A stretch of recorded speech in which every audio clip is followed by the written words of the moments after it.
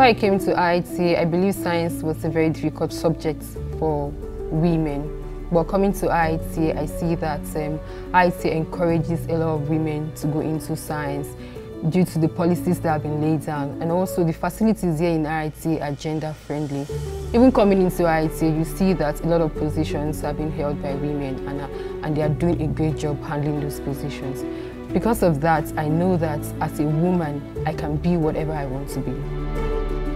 2016, I served in IIT Kano under the supervision of Dr. Boukar. So before I got my acceptance letter, he was skeptical. We should be able to go to the field. We should be able to work under the hot sun. We should be able to take data. I'm very happy I exceeded his expectation. So after my NYSC, he encouraged me to go for my master's. And I did my master's under the supervision of Professor Michael Abberton. And um, IITA has given me the platform to grow. I've learned skills, I've attended conferences, and I was privileged to attend the last um, conference uh, that took place in United Kingdom at Kew Gardens. Thank you, Dr. Boukar. Thank you, Professor Michael Abberton. Thank you, IITA.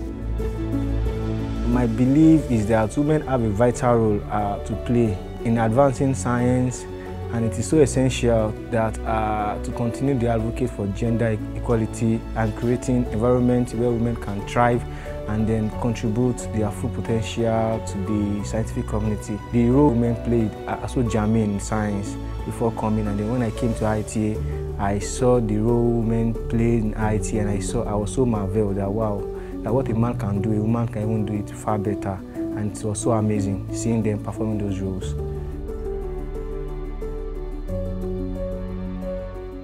My advice to women that are looking to build a career in science are to pursue their passion, build a strong academic foundation, seek mentorship and support, learn how to be bold and confident. They should also learn to embrace challenges because science can be challenging at times. So with this, they can make an impact in science. IT has invested in my academics by providing me with a platform to grow academically and morally, network and build relationship with um, scientists in agriculture.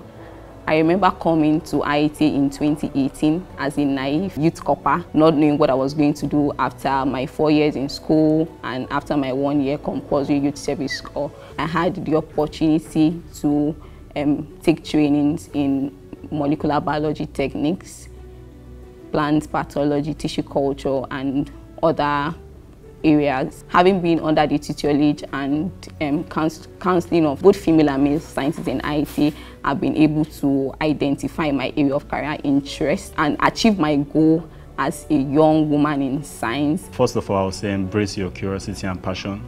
Science, is, uh, science runs on the why and how. So you want to always be asking yourself those questions and you don't want to be scared, believe in yourself, believe you can do it, and you follow your passion. Uh, secondly, I would say you develop your skills in communication and research.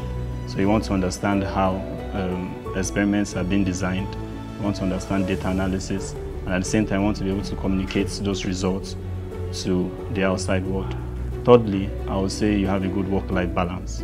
It's very important. A lot of people look at sciences as a very serious discipline, but it's good as women to have a good work-life balance and take time to enjoy themselves and look for other things they enjoy outside of work. And lastly, I'll leave you with this quote by the Nobel Peace Prize winner from Pakistan, Malala. As she mentioned, we cannot all succeed if half of us is held back.